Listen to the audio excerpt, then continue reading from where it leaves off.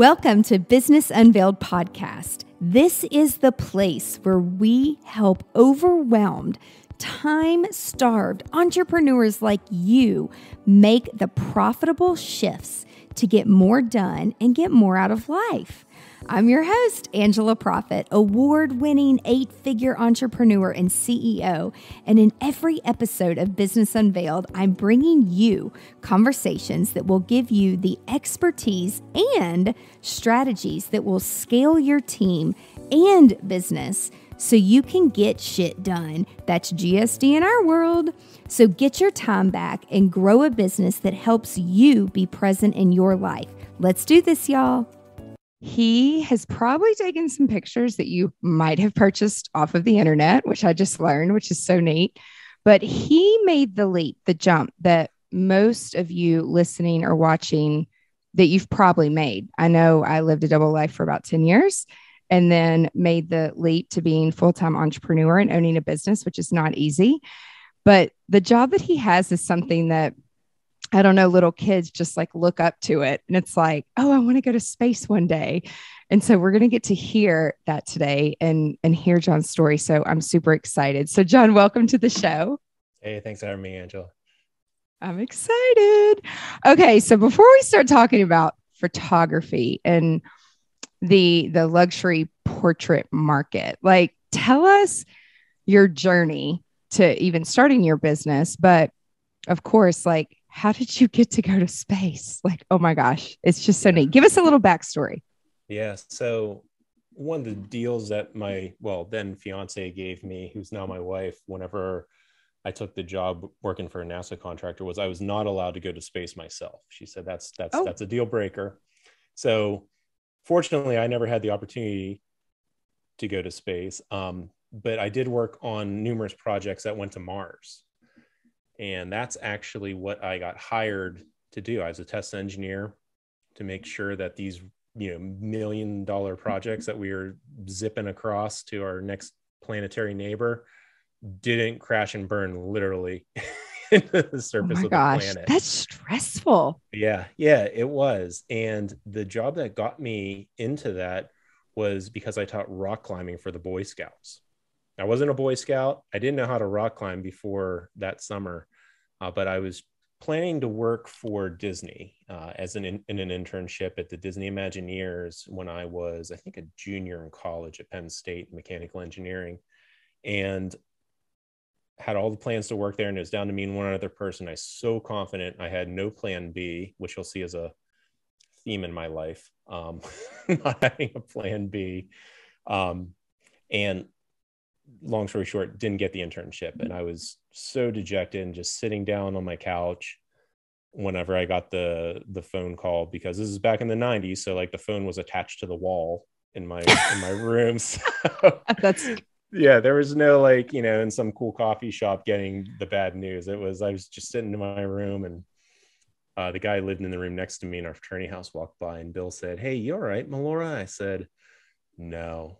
I said, I don't know what I'm going to do this summer. So he worked for the Boy Scouts out in New York City and said, you know, you want to come work up there, you can work in the maintenance crew and then we'll teach you how to, you know, be a director of something or other. You're outdoorsy.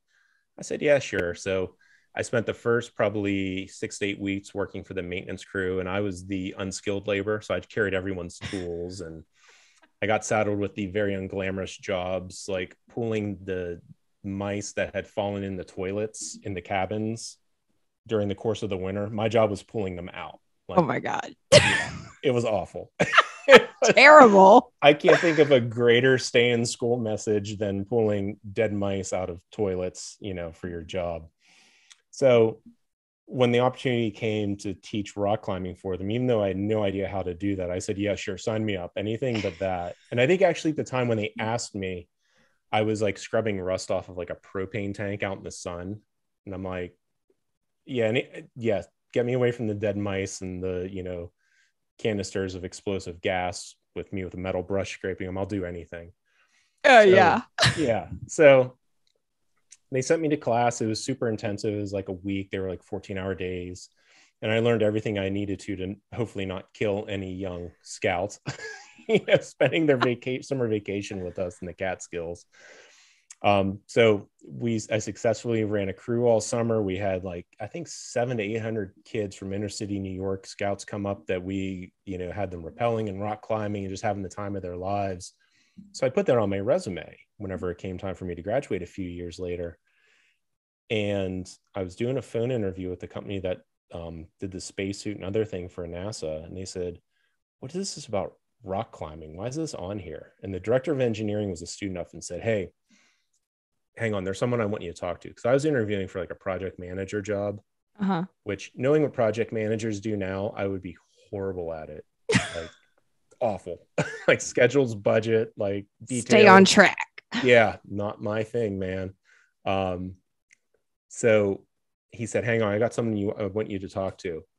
And like it was on mute. And again, like this is the 90s. So like I'm on like my cordless phone now, you know, the big like metal antenna yeah, because that's how I rolled. And this nasally voice gets on the phone after I was on hold for like what seemed like an eternity. And this nasally voice goes, Hey, what do you think about rock climbing on Mars?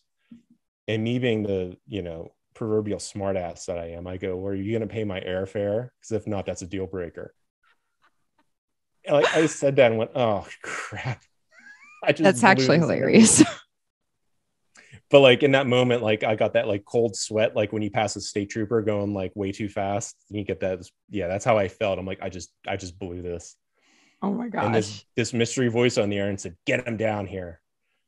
And i was like okay. So i came down. It was like a six hour drive from penn state. It's the, the company's in delaware. And this guy's name was skip. And he was like the lead test engineer for the systems that landed robots on mars like from the 90s on. And wow. when they saw in my resume that I had decent enough grades in engineering, but that I had like practical skills and they could send out in the field and not get themselves killed, that's what perked this guy Skip's interest because he was a former special forces veteran, did test operations for the Air Force for like 20 years. And now he was leading these NASA missions. And he's like, I don't need some egghead that can do calculations. I need some pseudo egghead that I can send down to the real world. So that's how I ended up testing things that, like I said, eventually landed on Mars. We did the Spirit and Opportunity Mars rovers for NASA, the Beagle lander for um, the British space program. And I did that for 15 years, worked on anything with high tech fabrics. So I've worked on everything from advanced fighter jets to they sent me to Antarctica once. And I'm not sure if they sent me there to get rid of me. I eventually made my way back. but yeah, I found myself in just these wild situations, all because like I had this job where I was tired of pulling dead mice from toilets. That's pretty much what set the course for the rest of my professional engineering career. Which just that's I sound, great. yeah, It's a I great like, story. I sound like Walter Mitty, like when I tell these stories. I'm like everyone's just gonna think I'm full of crap. but, But it's truth. all it's all relationships, you know? It's like you're the guy in the frat house, you know, walking by. And what if he hadn't walked by? You know, it's like timing is everything. And Yeah. so it's like everything happens for a reason. So then, okay, so then you're doing that for like 15 years. And then where does the love for photography even come in? Yeah, so the love for, photography like started when I was, I think, on my seventh or eighth birthday. Because, and stick with me here, Angela. Yeah. I wanted a hamster. That's- Okay. that's, what I wanted. And my mom, and her infinite wisdom, thought John doesn't have the follow through to take care of a hamster. Like, no way. So on a lark, she bought me a camera, and this is like 1984. So it was like an old school little Kodak film camera. Had like the flash bulbs that would expire, and I just I fell in love with it. And to this day, my mom's like, I have no idea why I got that for you, other than you like being creative. And I thought this will be techie enough that he's not going to bother me about some damn hamster. so, so it, photography had always been my just a hobby. I just loved creating. I just I could always just see things. People would always be like, "How did you see that when to take that picture?" I'm like, "How couldn't you?" So it's just something that's always come naturally for me. Um, and traveling extensively for my engineering job, um, I always had my camera with me. So I looked at it as like, you know, in my little like dream world, I'd I was going to do these cool engineering things, but I was always be like, man, this must be what's like working for like National Geographic. I'm going to Antarctica or I'm they're sending me to Hawaii or I'm on my way to China. So I'd like put myself in these little like photo assignments, like when I had off time. I love work. it. and it eventually became like this like safe haven for me because the company I worked for was bought by venture capitalists and it really changed how the the whole philosophy and vibe of the company um, from like a small family run company to like hey let's see if we can do this next technological thing to you know how much how much profit are we going to make on this mm-hmm. sorry i don't mean bad connotation with the word profit but you know. oh no no no it's, it's all good it's all good um but it and I I was watching these like major layoffs happening around me, like multiple rounds, and it was like the, you know, anyone who's worked a corporate job, it's like, oh, there's no way they'll they'll let you know Bob go. Holy crap! Did you hear they just let Bob go? It's like, oh shit! Like, yeah. So I started doing photography more seriously, probably in like 2014, 2015. Like joined the local art league and sold like my first like art piece as a little five by seven like black and white and i thought uh you know it was so cool i got paid like $30 for Aww. it um but that's when i really started ramping up my photographies because i really needed something to focus on that had a lot of positivity because i'd gone through a tremendous amount of personal change in my life starting like in 2009 and then it really just coincided with my company changing focus. And photography really just came something that, that kept me afloat you know you know spiritually. Yeah. Do, do you like to shoot um like i mean when i think of national geographic i think of like south africa and like animals and nature and yeah. was there something that you were like just naturally drawn to or was it just anything I was always drawn to the stories that like National Geographic told. I can remember the first time I saw National Geographic magazine. I think it was from 1987 or 88. It was a it was an issue on like Pompeii. And I can remember looking at it on my grandparents' coffee table and like the, you know, old steel town I grew up in in western Pennsylvania and like just seeing these like fantastical stories of like places I'd never seen. Like I'd been to like where I grew up and like we'd go to Cape May, New Jersey for vacation every year, but like I really had not gone anywhere else. And I can just remember looking, you know, inside the National Geographic and be like, wow, there's like a whole world out there. So I started out just taking pictures of landscapes, you know, sunsets, clouds, all that kind of stuff. And I always said, absolutely no way would I ever want to take pictures of people and you know anyone who's a student enough caught that i do luxury portraits now um, so that all really ties into the amount of like personal growth and change that i had because you know even though i had i've like a literal wall if i wanted to hang everything up of like commendations from like department of defense and all these other nasa and alphabet soup agencies i never believed any of it. I had huge case of imposter syndrome you know despite all these like tangible accolades. Um so the desire to not want to ever photograph people back in the day was just a manifestation of that because I didn't want to appear like foolish or like I didn't know what I was doing. So once I got past that through a lot of personal development and soul searching, and this took years, by the way, this isn't like a switch flipped.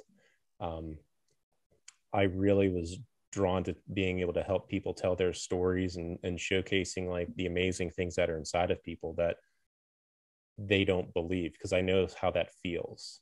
Mm-hmm. Not believing what other people tell you. And that's a pretty that's a pretty low place to be. Mm-hmm. So I mm-hmm. take great pride in having being able to use the gift that I had because I have no formal photography training.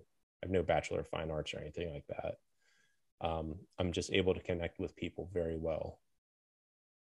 Which is not easy for everybody. So, but how did you like? Did something happen at your job, or did you like plan this? I, th- I feel like I know the answer, but did something happen where it's like today's the day that uh, peace out corporate world and I'm starting my business? Like, because there's a lot of people that like listen and watch the podcast that I mean, I lived in healthcare and luxury wedding world for a good 10 years and mm-hmm. there was an opportunity like something happened that presented itself to make me within 24 hours to have to make a freaking decision. Like do i want to jump and do i want to try this thing and i can always go back?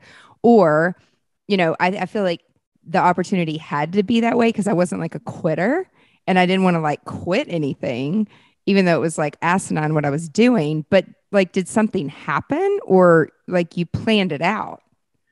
Yeah you i'm sure you know that. And there, there's no way i planned it out. Right?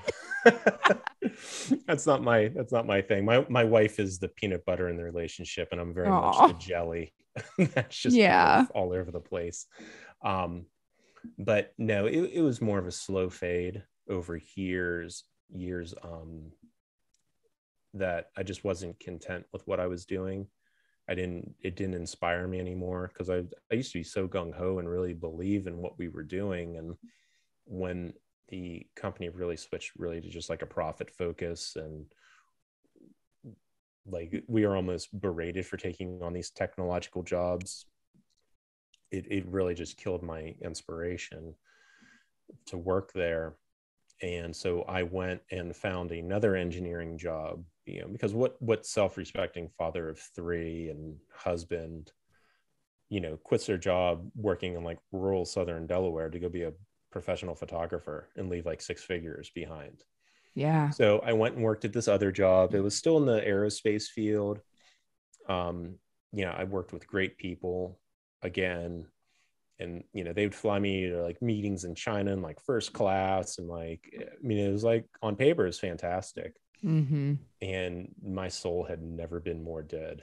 I remember it was a day it sounds like you're having in nashville right now like just rain and like awful weather and we're in coastal delaware so like it's always 100% humidity even in the winter and like 35 degrees and rain like that's pretty miserable I can just remember walking into work one day and the mm-hmm. rain's like going down the back of my jacket. And I thought, thank God I'm getting paid so much money to be this miserable. Yeah. And like that hit me like a two by four to the eyes. I'm like, like, what kind of example am I setting for my kids? Right. Like, if my friend came to me and said, you know, I'm, I, I don't feel satisfied. I don't feel fulfilled. You know, what should I do? I'd be like, well, let's come up with a plan, dude, and like do something different. I'm like, I'm modeling for my kids. That's okay to like hate every moment of your waking life at work, which was like nine to 10 hour days, of course, mm-hmm. just for like a huge paycheck. So I said to my wife, I'm like, you know, I'm, I'm I'm miserable. She's like, well, no shit, John. I can't. Anyone with a pair of eyes can see that you have the power of like a wet ashtray. um, so I was like, what? You know, I, I, I got these photography skills I've been blessed with. I don't know how to sell it, and went to a networking meeting, and f- was finally like, oh my god, there's like people out there that like network and you know you can get your your business in front of people and refer each other and oh my god like blew my mind because whole nother world. Yeah right? Like in in the you know government engineering world like that's not how it worked at all. Um, no. it was like a 180 from that. So once i found out about like all these different opportunities and they're like oh my god people actually meet and have coffee at meetings and aren't in some test site in the middle of the mojave desert. You know? right. Um yeah people do that. Um and she's like you got to take this chance. She's like if this doesn't work out like if the photography thing flops like you, you can get another job. She's like you already left one job because i i looking back on it like you said everything happens for a reason I left the job that I had been at for 15 years to go to this other job, which by the way, I lasted nine months before I, you know, wrote my resignation letter. Dear Mr. Dolan, I, John Mollura, senior systems engineer, blah, blah, blah, resign. I didn't even make it a year at this place. Um, and so, yeah, on April, April 7th, I think of 2017 was my last day working in the corporate world. How'd that feel though? Like, were you like, finally? I want, I'm going to do something different? Yeah, I mean there was there was a ton of fear because I Sure. you know, I left, I had zero clients lined up. I think the first uh client I got paid me like I don't know, $425 and I immediately took $350 of that and went and invested in uh, Jeremy Cowart's like photography program. He's a Mhm. Nashville guy. Yep, I Um, know Jeremy Yeah, yeah. So and his brother. Yeah, Okay. Yeah. yeah. I worked And, with his uh, brother Oh, okay. years ago. Gotcha. Um, so yeah, invest in Jeremy's thing. I'm always like, you spent how much money of what you just earned? But his course and just the way Jeremy um approaches photography with such that humanitarian heart is how I've really structured my business and have created projects and you know gotten to know Jeremy, you know, over the years and you know we photographed each other and he's helped me develop various projects through some of his things so it, you know it, it, it's all meant to be What would you say to someone that is thinking about like making the leap? Would you say plan it out a little bit better or would you say don't wait so long? Like just fucking jump and do it. um it, I, I think a hybrid of those Mhm. one of the things that that really saved us was we had we had we were savers you know just financially so we had a pretty nice padding to absorb that initial shock for sure um, because that that allowed us to and allowed me to be a little bit more selective and not just jump on anything Mhm. um, that came along. So that's a huge thing. Um, try to, if you can, you know, try to have some kind of financial cushion Mhm. to do it, and then really, it, it's that fine line you have to walk when you're an entrepreneur. Of do I how how far down do I want to niche down? People always say niche down, niche down, niche down. Well, you might not know what you want to do yet. Mm-hmm. It's so hard. a having an idea of what you want to do um you know understand might take some time to develop but the biggest thing i can recommend to people is i don't know if you're affiliated with a coaching program or not but like coaching coaching Mhm. mentors they are worth their weight in absolute gold Yep. like these people have gone through the ringer and like gotten the bruises and lumps and bumps and contusions like that $500 is going to be so worth it Mhm. so worth it yeah mastermind groups all that kind of stuff is so instrumental in making these kind of giant leaps Yeah, they always say like find someone who's doing what you want to do and then follow them. But to your point about what you just said, a lot of people don't really know. And like for me, I was, I think, like floundering as an entrepreneur for about a year. And then a friend of mine who was a lighting designer that I worked with a lot, he's like, there's this thing called Entrepreneur Organization, and they have a thing called Catalyst. And he's like, You're going to die of a stroke. You work too much. Like, this is just crazy. And they teach you how to do it differently. I'm like, I don't have time for that. And it was an 18 month commitment and like, I don't know, five grand or something at the time. And it, it wasn't even about the money, it was about the time. We, Mhm. we had money in the bank. It was just, I wasn't busy doing the right things. Yeah And I was so young in owning a business. I didn't even own a business. I had a job because I was allowing my clients to dictate my schedule, which really is a job. And I mean, I always say like that group and my forum, my business group that I'm still in today, 12 something years later, it, I mean, it probably saved my life because Yeah. I, I just didn't, my parents were entrepreneurs. I mean, I grew up, my family had entrepreneurship, but they lived on the Gulf Coast. And so I wasn't around it all the time. And you just don't know what you don't know. Yeah. And so I, I agree wholeheartedly. It's like every year I get a new mentor and I stay in that business group and we all help each other. None of us are in the same industry. It doesn't matter what industry you're in. We all have the same challenges because we we own a business. And so so fast forward to now and you've been I will say like now your dream job, but it's like leaving what most people would think is a dream job to, you know, what you're doing now. What what are your favorite things to do? Like, what are you doing now? And like, what's coming up next for your business? Yeah, the I, I love telling people's stories.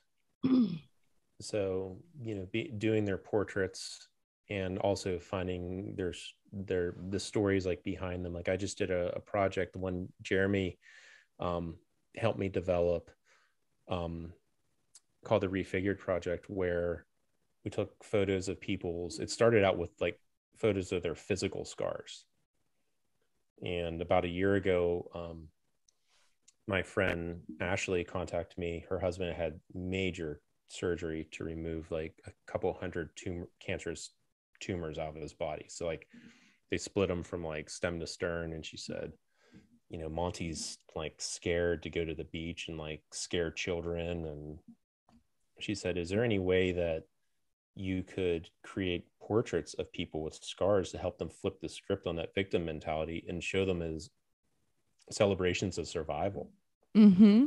and so so we did we we launched the project and i forget how many people we've we've had come through in about a year but mm-hmm. it's it's close to like 20 or 30 where we create these portraits and other photographers were picking up it across the country. Like someone did a shootout in like I think Bakersfield, California, like the other end of the country, just to tell these people's stories. So it it's been amazing watching the power that photography has because when you see a picture, especially when it gets printed out, it's like, wow, like this is how people see me. Like I've had people say that they're like, you made me look so beautiful. I'm like, I pushed the button on the camera. I'm like, this is this is you. This is how i saw you walk into my studio and this is how people see you. So now you have proof of how you look and how other people really see you. So that's one of my favorite things about doing portraits. That's so neat though. Like i remember um, through eo we had a speaker come. He his brand is called the daymaker. He owns aveda and a bunch of salons and he was living in hawaii and had um, a lot of pain in his hip. He was a surfer and went to the doctor, and they're like, You have bone cancer. You're going to die real soon. And so, you know, he told his staff and, and, everyone that worked there, you know, knew somebody who had had some type of cancer and they pulled together just people in their Rolodex of like what doctors could he get a second, third, fourth opinion. And um, you know, he ended up documenting this what most would see is like horrible, horrible journey of going through this cancer and losing just all of his hair. And I mean, he's like, I own hair salons, you know, like right. it was just so weird. And he like, um, you know, has all he speaks all over the world now, you know, sharing his story, like, don't give up. But that's one of the photography projects that that just really sticks out because that photographer, it was it was so emotional and but it was like a beautiful thing because his kids and his family like got to see like this is where you started. This is what they went through with treatment. Here were here's what we were told. Here's some options.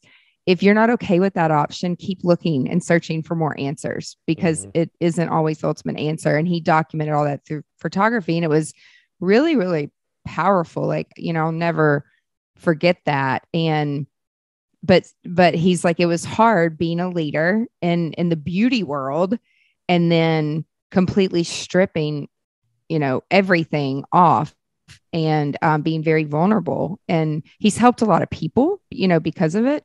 So there are some like beautiful things. And I love that because when you see especially children, you know, when they outwardly, when if they've never been exposed to like scars or if someone looks different than the norm of what they see like at home or in school or at church or the gym or wherever your kids are, it's like, how do you teach them to uh, be more understanding and how to approach uncomfortable, which may be uncomfortable for them. But, you know, if you have photography and you can explain it to them or a movie or something like that, it, it really helps. So, I can tell now, like through what you're doing already. And I mean, I don't know you that well, but it's like you enjoy telling those stories that brings you passion and that fills your soul, which is way better than what you were doing. So it's like just follow the purpose.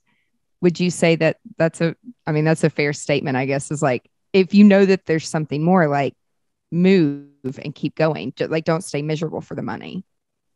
Yeah, absolutely. Don't stay miserable for the money. And it doesn't always have to be an all in right off the bat. I mean, you could like I took a lot of steps. You know, like you said, was there something that happened where I eventually I was like, screw it, and you know, resigned on the spot. It, it wasn't, it wasn't that, but I'd been like building up this like side hustle for for years and found it really brought me joy, and also brought other people joy.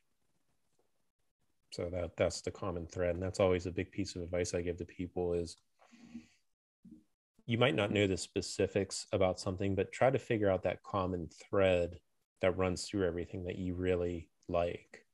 And that that can help you navigate, you know, your passion slash career in relationships. There'll be some kind of common thread. Like I I love being the first to do something.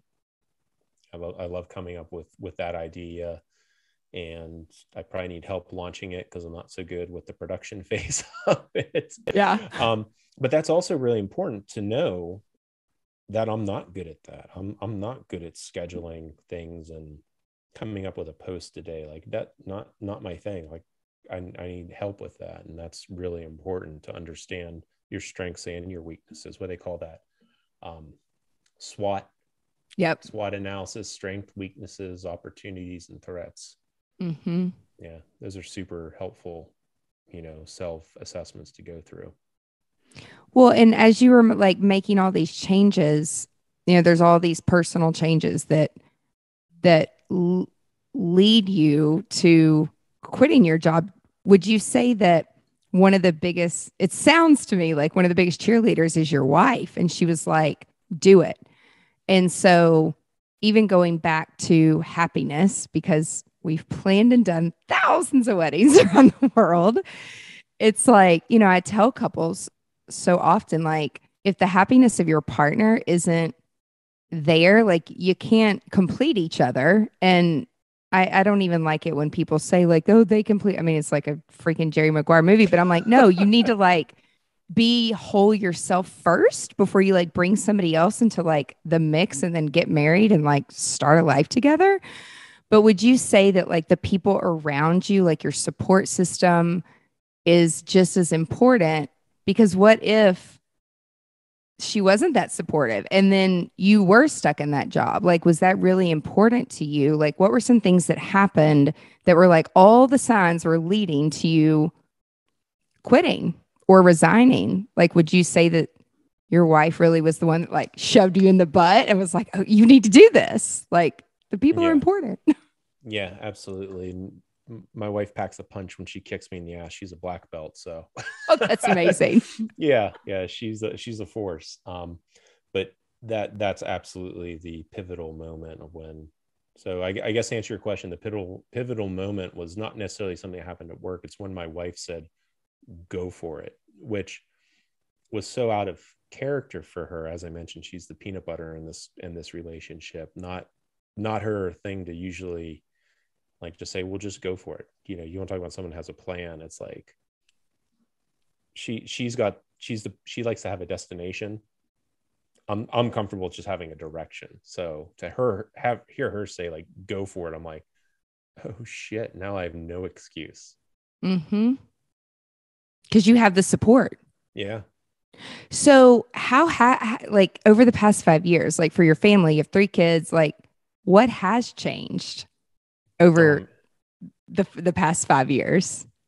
it whenever whenever like business would get slow and like I would, you know, get bummed out, my wife would be like, dude, look at everything else. Like you're able to like make the kids breakfast every morning, like drive them to school, kind of, and then you know be there right when they get off the bus and like get the happenings for the day before they're like you know what happened what went down at school before they're like too tired to like talk or just don't even want to care and don't care anymore. She's like you get to hear all that. She's like before when we both worked full time because she my wife's a, a high school teacher um god bless her um Yeah, seriously. yeah. She you know like we would like scramble to get the kids out the door at like out the door at like 6 50 a.m and we're talking like a one year old a three year old and a five year old Oh my gosh. drop them off at daycare you know get to work work our nine to ten hour days like try not to be the last parents to pick them up at 5:30 in the dark in the winter. Mm-hmm. Come home, feed them dinner, give them a bath, read a story, go to bed, and then you know, do it all over All over day. again. And she's like, dude, like you get to like hang out with them. She's like, I come home most days. You're like throwing a football with our son. Now, granted, I might have a photo shoot later that night or something to do. Uh, but she's like, look at all that time you get. And thank God I had I had the flexibility I did during COVID. Because being a teacher, like my wife was like in Zoom hell, like trying Yeah. to figure all that out in like March and April of 2020 Mm-hmm. like trying to get her feet under her and and doing all of that so like I, I was able to go through the the because I wasn't really working. No one was really doing commercial shoots, which is what I used to do in like April 2020. Yeah. Um, that that was that was kind of stopped. Um, so like I was able to like be my kid's school teacher, and science lessons were like tons of fun with dad, like out there, like here's how you mix this and this together and it'll go boom if you put it in a two liter soda bottle. Let's go try that. So, so and pray it doesn't blow up everywhere. I, I used to handle explosives. It's all good. It's you know alka-seltzers or nothing. Um totally, totally in my wheelhouse. But yeah the past like like since covid like thank god i had the the flexibility i did. And then like even like with their wonky school schedules like two days in person two days off wednesdays are off but you know you had to be there to like answer questions like i could be there for all of that Mm-hmm. w- like looking back on it like even just saying this now it's like man what a blessing Mm-hmm. like on those days where like and there there have been days in entrepreneur world where I've literally been crying on the floor, like curled up in a little ball, not knowing what the fuck's gonna happen next. Yep. Um you know, it, it, being captain of my own my own ship, so to speak, to be really cheesy is is awesome. And I'll just conclude with saying I would probably be a horrible employee now working for someone else. I think I we I'm both pretty would. unemployable now. I Yeah. I'm pretty straight up unemployable. A hundred percent. Yeah. I think that's a good thing.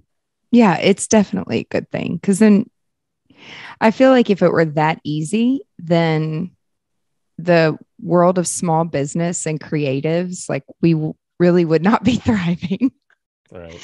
you know if it was if it was that easy um but it sounds to me like a lot of what you worked through was personal development and working with coaches and mentors and having a positive outlook to everything and instead of playing the victim like oh i'm so you know pissed. And you know a lot of people i mean i watched people around my parents that went to the same cu- cubicle every day and hated their life. And they had a beautiful house and drove a nice car. And it's just it's not worth it. But until you get older at least for me i didn't really understand like what all that Mhm. meant.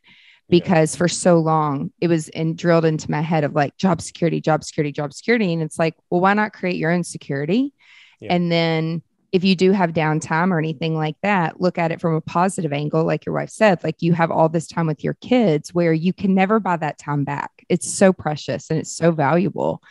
So i just i think like when i mentor people and they're like when should i quit my job? When's the right time? I'm like it's never the right time. You just have to no, freaking it's go. never the right time. Yeah. never never. It's never the right time. Like just just do it do you have like one favorite project that that you have shot in the last five years that just really stands out? I think the re- that refigured project that I did last year really it it was so eye opening for so many reasons because it it it illustrated the amount of weight that some people carry on their shoulders and their knees aren't buckling. It it was amazing. Like some of these stories I would hear um a girl that was like going like going to be a model and when she was i think 15 someone thought that their boyfriend had a crush on her so slashed her face with a straight razor. Walked up Oh behind her on the street outside of Coney Island, New York, and just slashed the hell out of her face. I forget how many hundreds of stitches she had. Um, but she came in for a refigured shoot because she wanted to show people that beauty is. Uh, she she quoted her grandma. Um, Girly Bell was her grandma, and that's actually what she ended up naming the makeup company she started to show people that beauty is only skin deep. And she Mhm. said she wanted to come in and partake in the refigured project because she wanted to have a record of that and really show people that. Um, Wow. so just hearing those stories was a is amazing, but it also helped me because I thought, how could I ask people to share their, you know, these like very personal and intimate stories if I wasn't willing to? So I always wanted to be a soldier growing up. I always wanted to be, in, you know, a pilot, Navy SEAL type type high speed dude. The only problem was I was born with club foot. Um, when I was born, they said your son will be able to walk likely, but running and athletics are probably not in the cards for him. And here's my dad, who was a you know standout collegiate football player at the University of Pittsburgh, hearing Uh-huh. this about his like firstborn and only son. Um, so my parents never let me be that a, a deterrent, but and they they never told me I couldn't do anything. So I Mhm. became a black belt myself, ice hockey player. But I always had this in the back of my head because that's what prevented me from doing my my quote dream job of being in the military. Like it just straight up wasn't allowed. Um, I was disqualified. I always, you know, looked down on my right foot because it's like it's like disfigured and it's like two sizes smaller and i have this like giant scar running up the back of my calf from all the surgeries i had as a kid and i thought i can't ask people to be a subject in the refigured project if i'm not willing to share this very little known thing about me Mm-hmm. so i photographed myself and i was actually i was the first subject Okay, And- so this all makes much more sense. yeah This was way closer to home.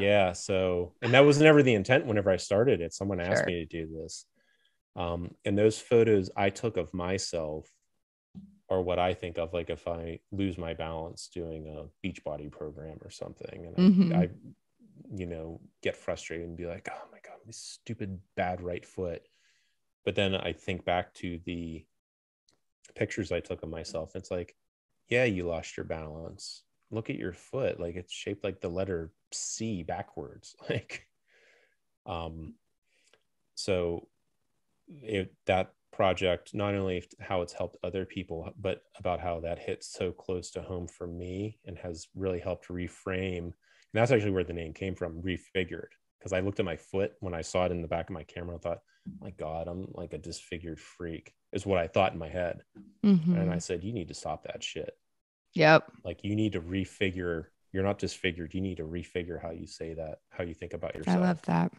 and that's where it came from so helping other people and then i in turn ended up helping myself who knew That's amazing. That's Yeah. such a great story, though. Yeah. Thank you for sharing. It, no problem I mean, it, it means so much more when you help yourself and, you know, if something bad or happens around me or my business or something. I mean, coming from mental health and working in a mental health hospital, you know, in the back of my mind, I'm like, shit could be so much worse, Angela. Like, don't be sorry. Don't play the victim and don't be sorry for yourself. Like, it could be a lot worse. But then there's a lot of people around me, especially my family, they haven't been exposed to any of that and they probably never will.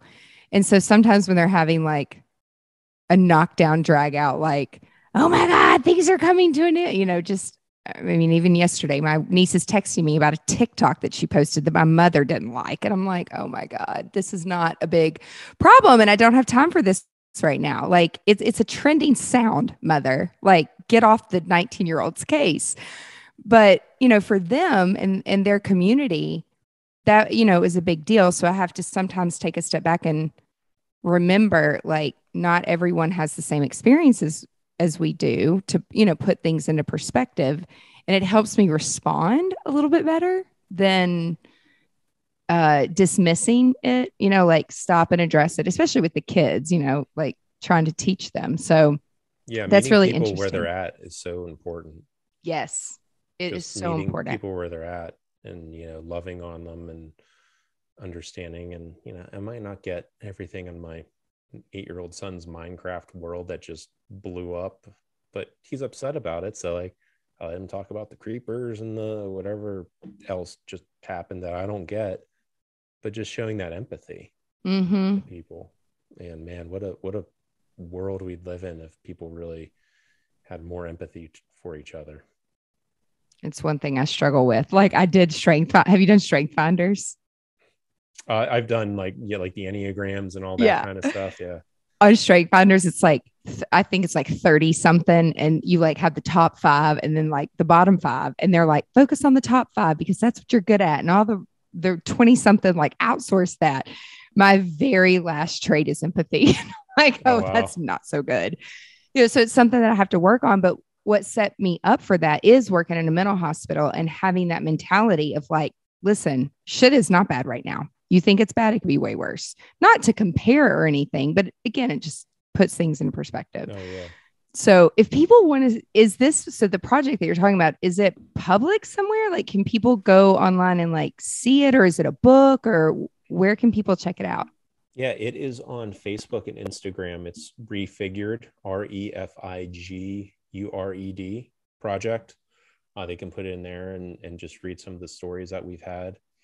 Um, yeah, I, I think I'm getting ready to do the the final two just because you know we we've had some volunteer changeover because we had professional writers that would then volunteer their time to to craft the stories as they meant to be crafted. So the project had a had a pretty good run of almost a year.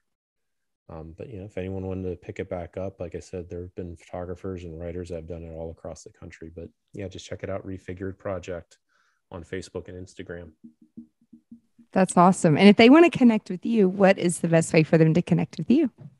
Yeah, so I, I also am on Facebook and Instagram.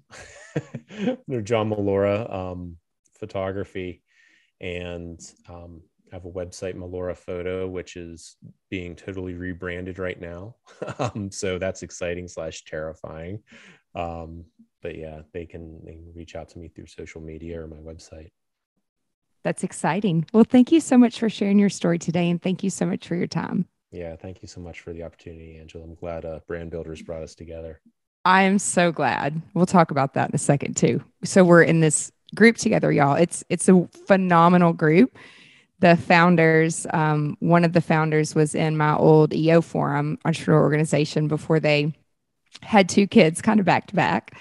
And I was actually at an event just a couple days ago with them. So Oh, yeah? it's Oh, cool. um it's pulled a lot of just really, really talented people together to help bring clarity, I would say, to like the difference between a company company brand and a personal brand. And so Rory and I, people in our EO forum, they're like, Do you guys do the same thing? We're like, No, we don't do the same thing at all. We understand like the digital marketing world. I'm like, but I work with companies and you know, really in the hospitality space specifically. And then, you know, they work in the personal branding space. And what I've learned though, even through really successful entrepreneurs, is that they don't know the difference because it's never been really presented to them. And so it's been a really, really great program just to get clarity around what needs to be in a personal brand. That needs to be a whole nother podcast. I talked to Oh, Rory about that the other day Yeah, right. like that's its own thing. But anyway, we'll get to that next. Um, but we'll put all of your links in the show notes and and share it out with everybody. And just thank you so so much for sharing. This was awesome. yeah, thanks for the platform, Angela, and keep doing the awesome stuff you do. Yay! And y'all, thanks for watching and listening today. And be sure to tune in next week to another episode of Business Unveiled. Bye. Y'all. That's it for this week's episode of Business Unveiled. Now that you have all the tools that you need to conquer the world and GSD, get shit done, would you share this with your friends and fellow business leaders? One thing that would really, really help us and help new listeners is for you to rate the show and leave a comment in Apple Podcast, Spotify, Stitcher, or wherever you tune in and listen to Business Unveiled. You can check out the show notes at angelaproffitt.com slash podcast and link up with us on social media so you can share your biggest insights. And I want to know your aha moments. Until next week, remember the profitable shifts and structures you're creating in your business help you be more present in your life. So get out there and GSD.